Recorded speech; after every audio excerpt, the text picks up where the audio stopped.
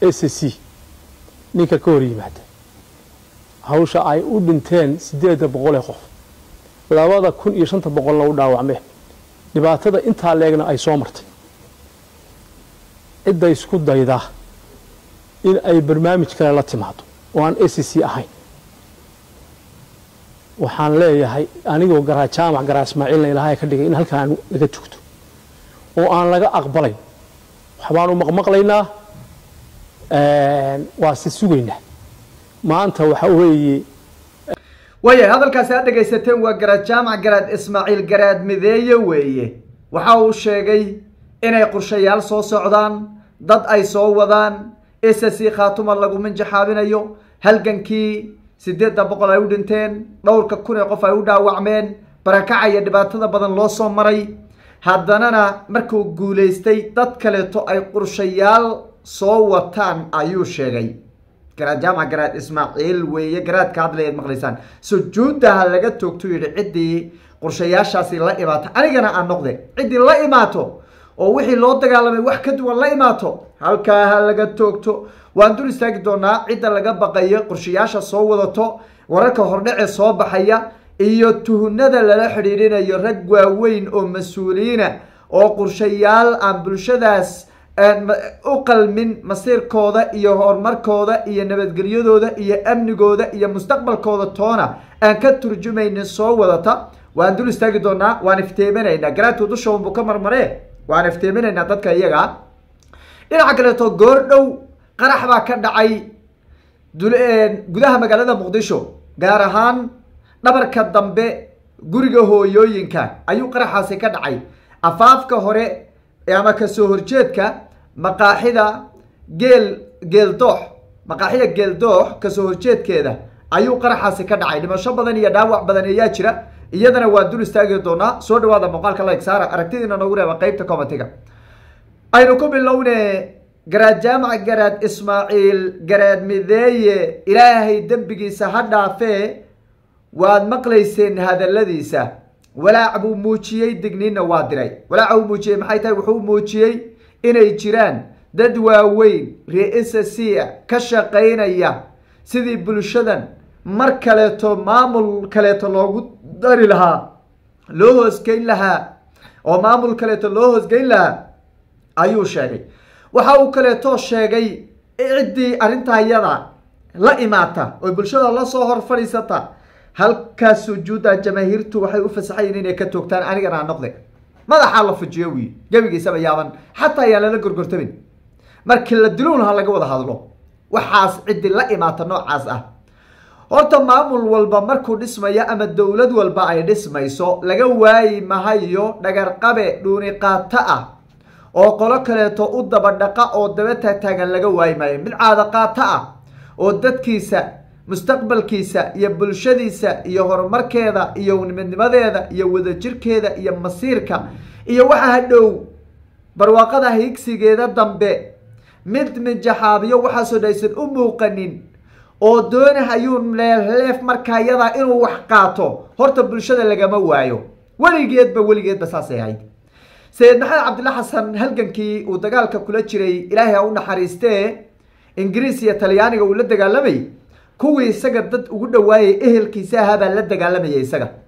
Waa kuwii isaga dad ugu dhawaa weye ee isaga ay isku ehelka ahaayeen. Intaan dad kaleba la gaadhinba qaar badan oo isaga la dhashay yaa la yaa lahaa war ninka waalan qabta war ninka waalan iska celiya war umadag ma muwaalan yahay war wuxuu ka hadlaya muwaalan yahay. Ma ingiriis iyo talyaani wax dhaabaa la helaya ingiriis iyo talyaani guumaysigaasay raalli ka ahaayeen. Marka halgan walbo bilowdo oo waxa weeye dhammaadkiisa oo waxa weeye isagoo dhammaadaba oo guushiba la gaadhay. Haddana qaar baa qoladaas soo raacaya oo dhuuni dhuuni qaatayaal dhuuni u raadinaya. Laba dhinac bay haddaba yay bahashu ka imaanaysaa. Marka xaqiiqada ka hadala weye waa laba dhinac.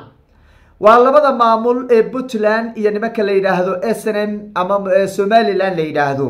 Labadaas maamulba qorshayaal baa ka soo socdo waa la ogsoon yahay.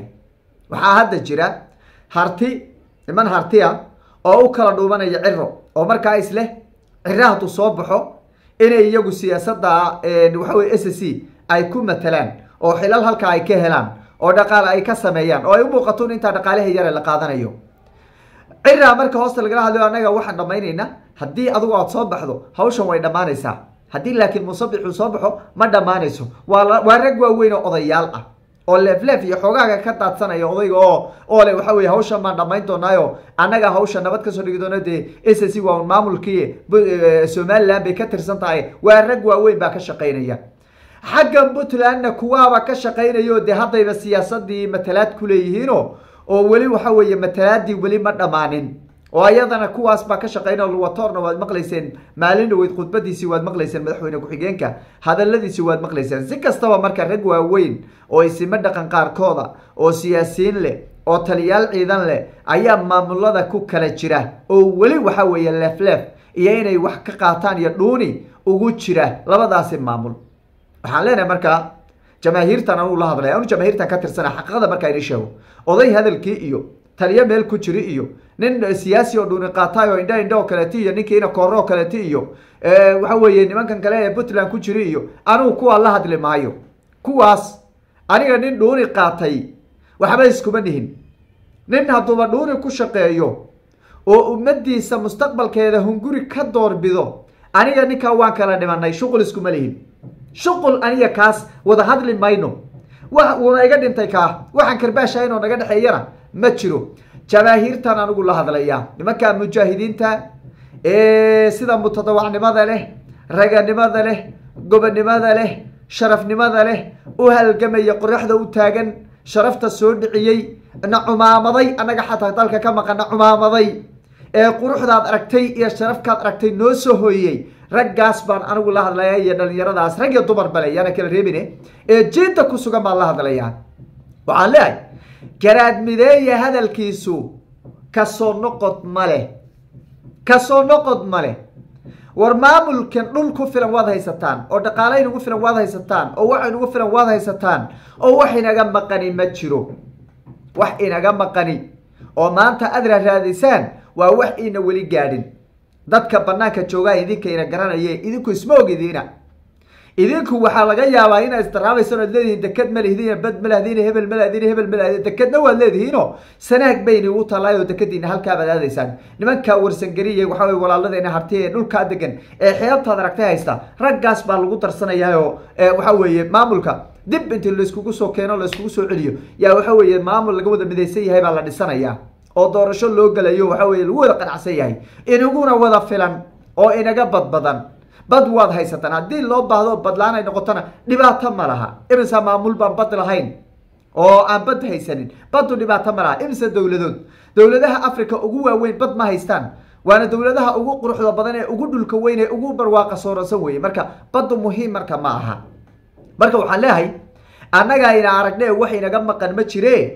Midnimada ha la ilaaliyo oo wadajirka ha la ilaaliyo oo dagaal baa inagu soo socdee ee bulshada kala qaybinteeda iyo waxyaabaha mugdiga gelinaya ha laga dhex ilaaliyo. Oo dadka nooca ku fikiraya ha la iska qabto gacan bira weliba ha lagu qabto. Gacan bira ha lagu qabto. Nimankaas hadda isaaqe soo ordayeele ingiriiska ingiriiska idinkaa ka dhulweyn idinkaa ka qanisan idinka ceelkii shidaalkaa besa bay nagu filan weligiinba noloshiina shidaalkaas ay nagu filan. War south sudan eeg south sudan fiiri. Waxa barwaaqa ay haystaan waa ceelkaa shidaal ee weliba suudan ay percentageka ugu badan ku leedahay haye idinka haddaad ceelkaa soo saarataan ma wax inaga maqan baa jira. Wax inaga maqan ma jiro.